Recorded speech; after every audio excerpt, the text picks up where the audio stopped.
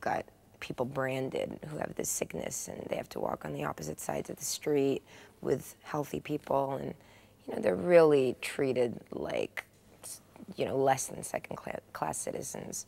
Um, so when enough people start dying and disappearing uh, a, a, group of a, a resistance forms an underground resistance forms.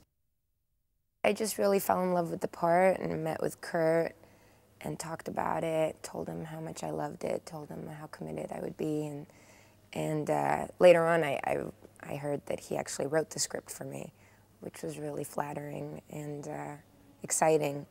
So uh, it was like, you know, shook hands and said, all right, see you in Shanghai. I actually started training for this movie um, in May of last year. So it's been over a year now that I've been preparing to play this part um, which is pretty cool. I've never done that. Um, I've never had such a long stretch of preparation time.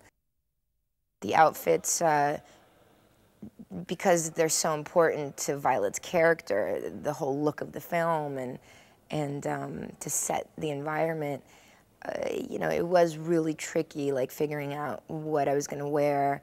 We didn't want to make it obviously like unbelievable either. Um, in a matrix sort of way, like, like, you know, how does Violet get into these clothes? So, you know, we tried in a sense to, to follow some sort of pop culture style, you know, so this would be the kind of outfit that probably today, if I was like a pop star, I would go on stage and like do my little dance routine in it, you know, but Violet is just so cool that she can wear it every day. Physically, I've, I've never been in this kind of shape before. I've never been as fluid in my life. I've always thought of myself as a big clumsy oaf.